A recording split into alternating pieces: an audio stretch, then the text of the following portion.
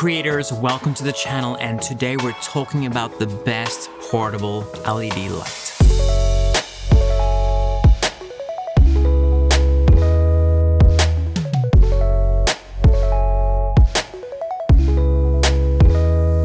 What I have in my hands right now is the Smallrig RM120. This little guy has served me well. I was recently filming a documentary called Dialysis about one of my close friends who is right now on dialysis because she's looking for a kidney. And this little light served as the side profile. So on the documentary, I was using my Smallrig with a big soft box from the front. And then actually from the side, I was using this little guy on a little stand. It's got an extra long battery life and we're gonna check out some cool accessories that this thing comes with. Probably the most important accessory that comes with this light is this softbox. And once you slip on the little silicone softbox, you can actually see you can still mount it from the bottom or from the side, which is really handy. This video is not sponsored by Smallrig, but I love this light, and this light can last three hours, like three hours continuous lighting. Now that's pretty significant. You can also power it continuously through USB-C, but in case you're remote anywhere, it's perfect. As you can probably see in this video, I'm running 5600K right here, but then I'm running 3000K right here. So it's two different white balances. And this light does it all. It ranges from 2500K all the way to 8500K. That's ridiculous. Like check this out. So first I'm turning off the front light and then second the side light. Now this right now is 2500K as you can see, I'm really yellow because I'm keeping this the white balance of my edit exactly the same. So now I'm going to start changing the white balance. As you can see, it shot all the way out to 8,500 and now it's back at 2,500. And you'll probably see in my other videos, I actually have this light shining next to my computer screen. So this is what it looks like. So now if I put my side profile light back on, and then I can turn the front light back on, then you can actually see the contrast of the white. I have my 5600K, my 3000K, I have another 5000K here looking at my drone, and then I have 2500K right at the back. So then I get this contrasting white look. So this light actually does color as well. So let's check it out. I'm gonna turn off the front light and that way you can actually see the different colors that this light is making. So right now we have red. I'm just gonna jump through all the colors. And then this way you'll be able to see how it goes through all of them. Yeah, there we go. Now, on top of all these color changes, it also has 12 unique effects. Everything from ambulance lights, police like SOS, welding lights. Like it's pretty cool. Static TV, fireplace. So at the back of the light, as you go through set, this is actually the first one, which is called welding. So I'm assuming if you put this in the background somewhere and you, whether it's through a window or maybe it's shining on your back wall as you're doing effects, this is the, the welding preset. This is SOS. As you can see, it's three fast, three slow, and you can put this in the background, like this can be shining there at the back while your front light's perhaps going and it's pretty unique. You can also change the color to white, you can change the color to green, yellow, or back to red.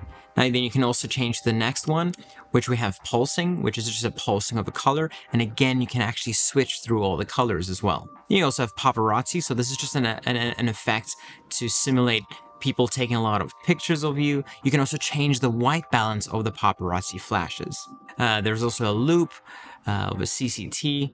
So it just keeps on looping through the whites just keeps going through different color variations of whites. Well, actually white color temperatures. And you've also got lightning. You know, my, my window's right there. So if I actually put this there and I shine it on our, my back wall, it will actually simulate lightning happening in the background.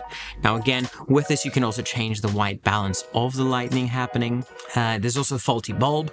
So the bulb essentially just flashes a bit and you can also change the white balance of this faulty bulb.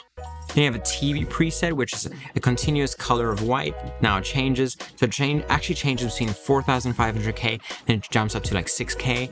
And, and, and that way you get the faulty TV effect of one color and then it jumps between the two.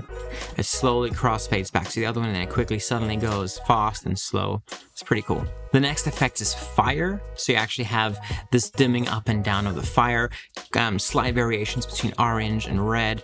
And, and you know, as you could, as you just saw the quick flash and, and it's pretty cool. So it, it goes up and down as well. Again, if you want to run that in the background while you're maybe filming outside, whatever you're doing, it's a unique effect. You have random CCT, getting random whites. That's that keeps on flashing between.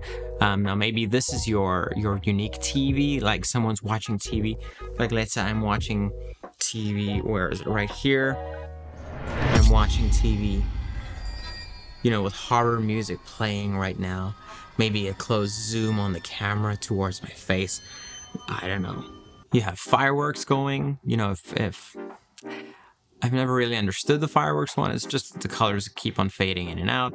Maybe if it was like these explosions, it would have made more sense. It's not really fireworks. Uh, alarm lamp. Now this one is probably one of the most unique ones that I've seen that I'd probably use the most. Now this right now is a police police car, right? The blue and red going. So like you could just imagine if, if something's happening and you're running this in the background with your primary light on your face and you're like, officer, this is what happened today. I know I'm in a lot of trouble, but I just want to say Christianity is true. You know, I whatever you want to say. But not only does it have police, but it also has uh, fire trucks, so just red going. Then you also have ambulance, which is just the blue going, right? And then you go back to the police car. Um, and then it just goes back to the welding. So those were all the presets that it has. And I just love this little light. I'll just leave it on police car mode to wrap up this video. Now this light is in full metal enclosing. Like it feels solid. Like you can throw someone with this thing. It's nice and small. It's compact. You can you can screw it onto a little plastic stand if you really want to. If you have one of those Smallrig phone cages, you can actually clamp it on there on one of the cold shoes. Like this light has so many different applications. I mean, Honestly, you could probably just take tape and tape it around a stand or some other shelf and it'll act um, as a really good light for you. Now the soft box that comes with it just takes a bit of the harshness out of the whites when you shine it on your face. Um, I'd probably recommend 5600K. It's just a nice daylight light color like this main one that's on me right now. That's probably what I'd recommend if you're using this to film. If you're interested in this light, just go and click on the link in the description. That will take you to Amazon. And if you like it, purchase it. If you don't like it, don't purchase it. It's got good reviews and it'll be a good thing to keep in your backpack.